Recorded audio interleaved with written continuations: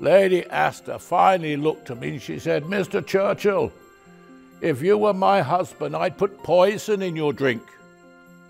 Lady Astor, I replied, if you were my wife, I'd drink it. now, just over two weeks ago, your President Kennedy granted me honorary citizenship of the United States of America. Meeting FDR was like opening your first bottle of champagne. Knowing him was like drinking it. One of my colleagues came up to me and accused me of being two faced.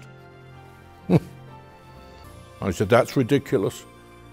Do you think I'd be wearing this one if I had an alternative?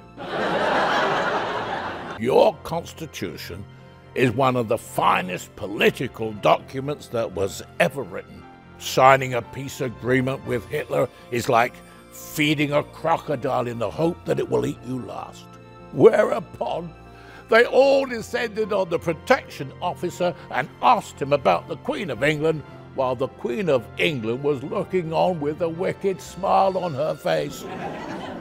Speaking of the Second World War, the British people will forever be in debt to your American forces, many of whom paid the ultimate sacrifice.